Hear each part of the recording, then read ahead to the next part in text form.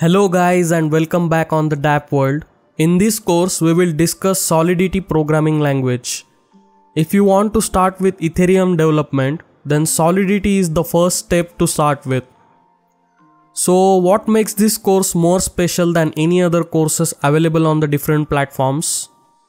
Well, this course is designed in an interactive way, bundled with videos, readings, multiple choice questions, and practical assignments, so that you will never have to leave the course to practice and test your understanding. After each topic that's discussed, you will get an interactive assignment where you will have to apply your learned knowledge to solve the problems. This way, you not only understand the programming language but also develop a skill to code your own smart contracts.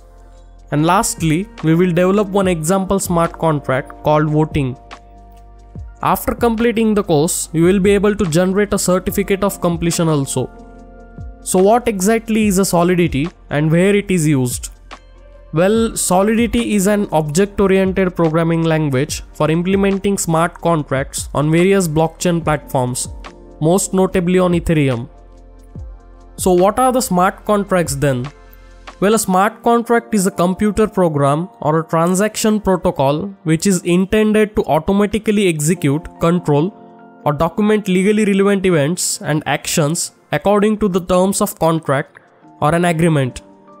We will understand the scenario when we go further in this course. Let's talk about the course overview. What are we going to learn in this course?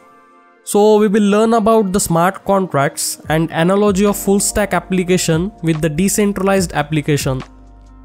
Then the Ethereum networks, process of building the smart contracts.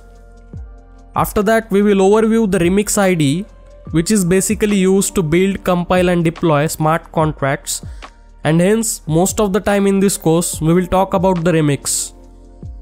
Then MetaMask connection with the Remix.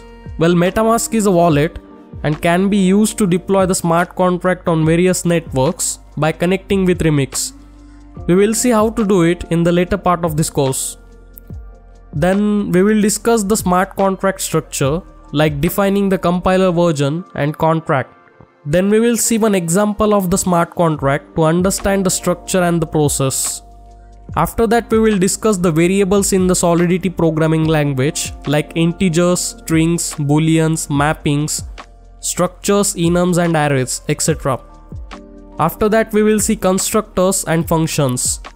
Then we will discuss the functions visibility like public, private and internal. After that the functions modifier and some other terms related to the Solidity programming language. So what are the prerequisites to learn the Solidity? Well, you should know the basics of blockchain and apart from it, there are no prerequisites needed to learn Solidity. You can learn the basics of blockchain by taking another course, the blockchain basics from Dapp World itself. So that's it for this tutorial. In the next tutorial, we will compare the traditional full stack applications with decentralized application that is Dapp. See you in the next tutorial.